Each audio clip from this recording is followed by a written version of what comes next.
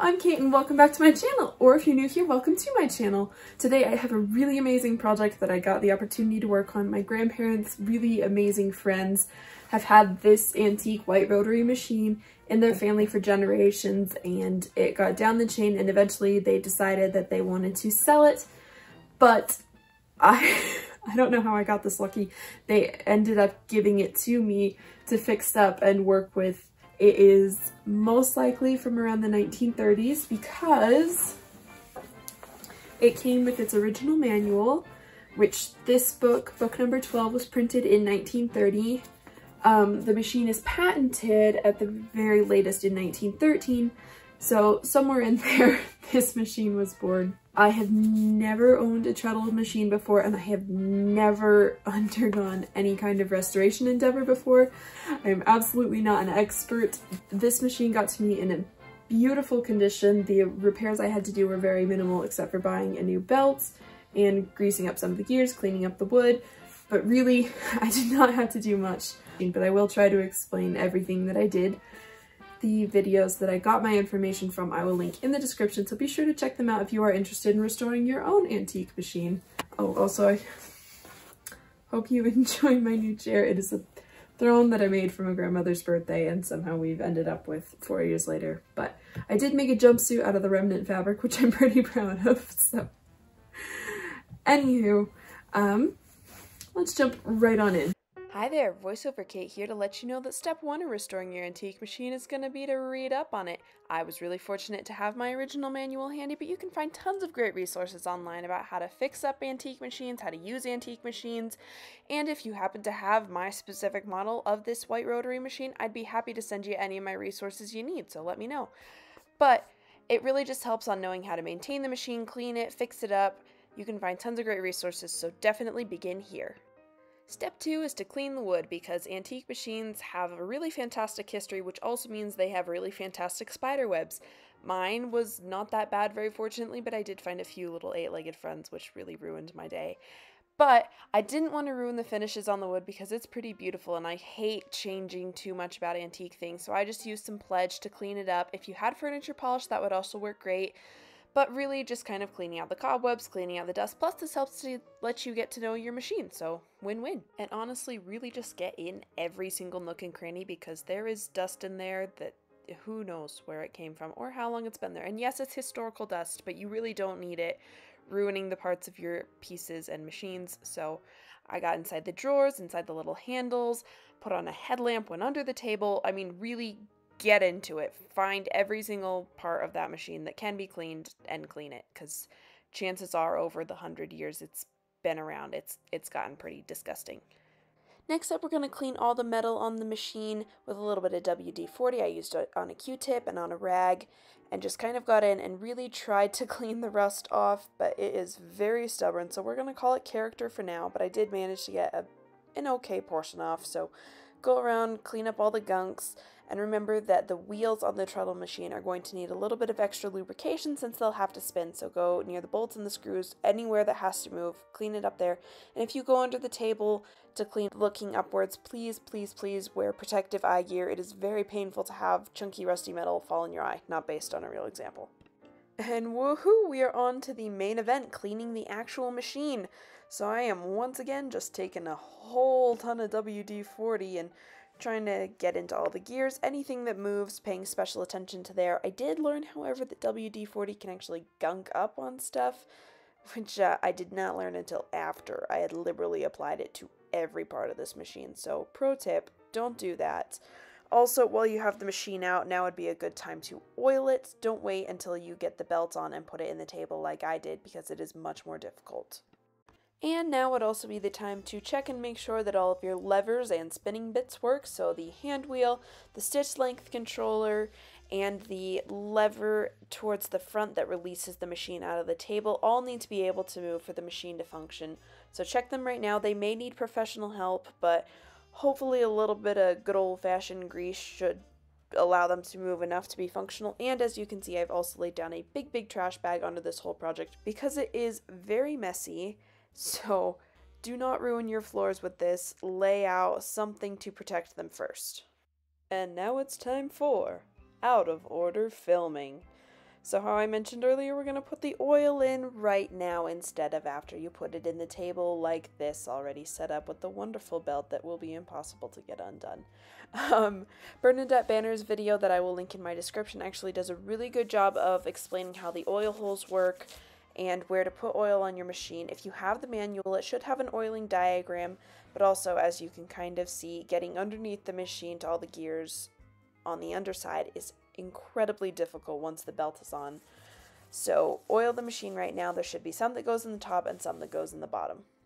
Now that we're all cleaned and oiled, we should be good to attach our machine to the table. But I ran into one little problem trying to activate this trapdoor thing, so let me cut to a live thing and see if I can explain it. This is kind of hard to see, but this is the attachment that hooks underneath a nut that goes around that long screw. And I couldn't find this table model anywhere, so I'm hoping that this is how it's supposed to go, but if you have a table like this and know more about how it's supposed to go, I'd love to hear about it in the comments. But otherwise, this latches onto this piece up here and then is balanced out by that bolt so that when you open up the table lid, like so, it should pull up that bottom piece for you and your machine can be attached in. But if you do know how it is supposed to hook up more correctly, I would really love to know. My dad and I have been fiddling with it for hours and it's a lot of guesswork, but so far this does work and it seems pretty stable.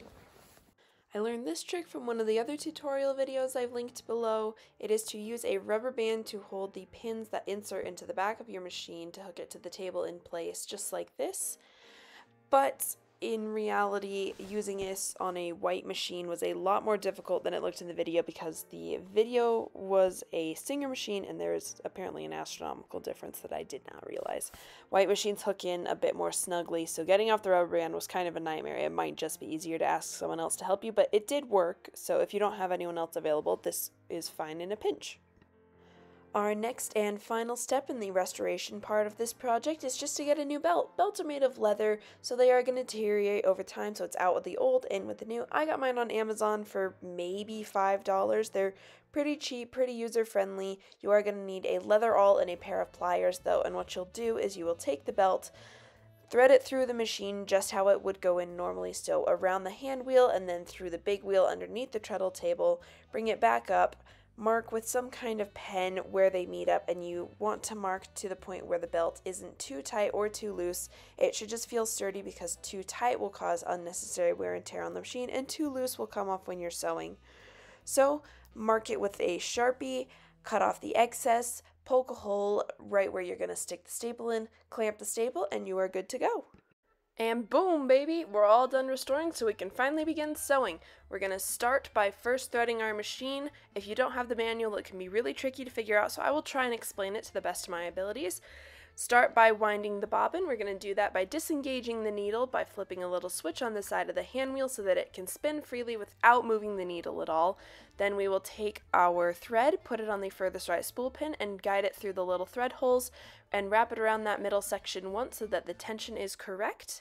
Then we'll stick it through the inside of the bobbin so that it comes on the outside. Stick the bobbin on the bobbin winder and then move the belts on your machine to the back side of the winder and raise the winder arm up pretty high, or as high as it'll go actually, and then you can begin winding your bobbin.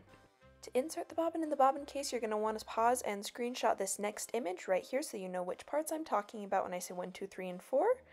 Then what you're going to do is take your wound bobbin and put it so that the thread is coming off the side towards part 2 and just thread it through hole one, then through hole two, then take it over to the other side, down, hook it around three, and you'll bring it up through four. Once your bobbin is securely in your bobbin case, you are good to just insert the case into the machine. There should be a little lever that you'll need to pull the top part back and just insert it gently until it can't be pushed any further. Then let go of the lever and it should snap back into place and hold your bobbin. To thread the top thread of the machine, we are first going to move our thread from the right spool pin back to the center one. Then we will guide it around this first little pin and hook it under that washer, then take it down through the guide hole. Bring it and hook it around this pin and then up over the top of it. Up to the take-up lever where it can be fitted in between this little guide holder that should catch it and keep it in the arm. then down to the needle where we will thread it through the little bar that keeps it in place above the needle. And then to get it through the needle, we're just going to thread it left to right, which can be a little bit tricky, but once you get the hang of it, it's pretty easy. All that's left to do is use your hand wheel to make the upper thread grab the bottom thread just like you would on a modern sewing machine. It's not filmed very well, but you should hold the upper thread in your left hand while you're grabbing the lower thread, otherwise it can slip through. And then once you've done that, you are all ready to sew.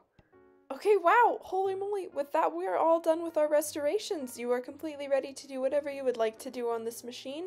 I myself am going to be making a dress and there will be a video of that, so stay tuned if you're interested. And also, the next few minutes are going to be me talking about the neat features on this machine. If you get motion sickness, I wouldn't recommend watching it because it's just on my handheld, but Otherwise, we've reached the end of the video, so thank you so much for joining me. I really hope you enjoyed watching this because I had such an amazing time creating this, and I hope you have a really great day. Bye, love you!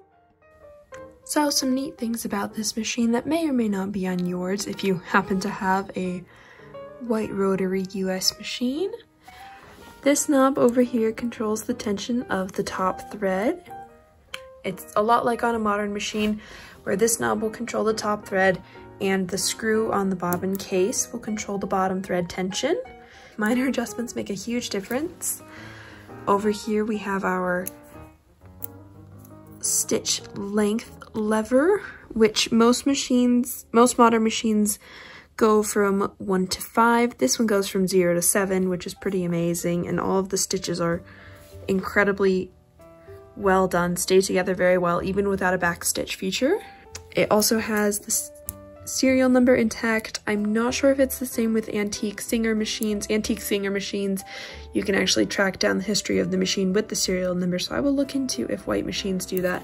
It also has the patents written on the stitch plate, which is incredible. The presser foot control is back here, and it functions a little bit more rigidly than a modern presser foot, but still very easy to use. And if you have this same stitch plate, if you're having trouble getting it out, there's just this little latch in here that pushes out. And then when you want to put it back in, you push the latch back in, set it back down.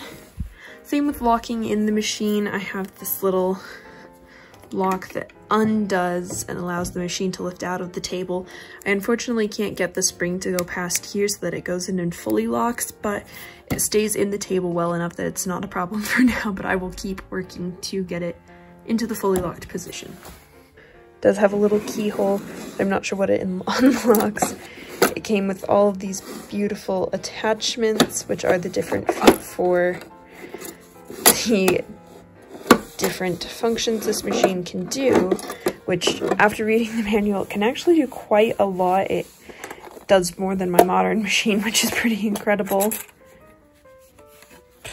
Trying to do this one-handed is a bit difficult, but all of these have different lengths. There's a ruffler foot, a tuck foot, a hemming foot, a felling foot.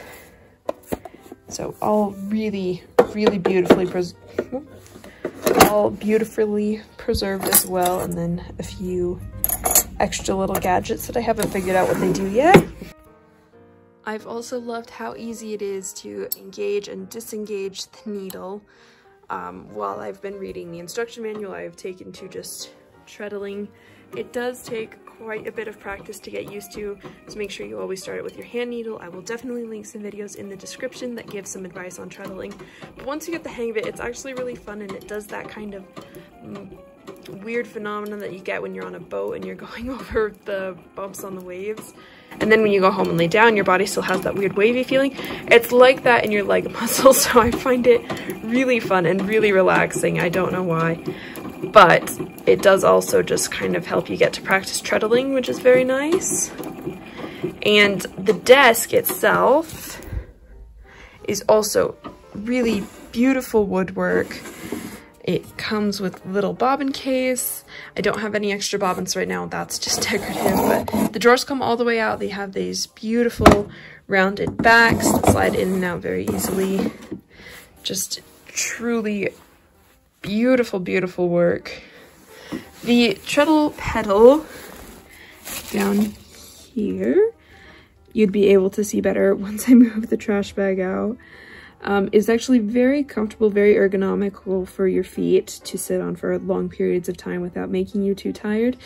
My table also comes with wheels, which is pretty handy, except two of them are rusted still, so not that handy, but it did actually make the moving process a little bit easier, which was very lovely. And this whole machine just has so many fun features, like this little arrow that indicates the stitch lengths, um, really just the beautiful painting and like the craftsmanship in this machine is just unbelievable and I am so grateful to have it in part of my collection.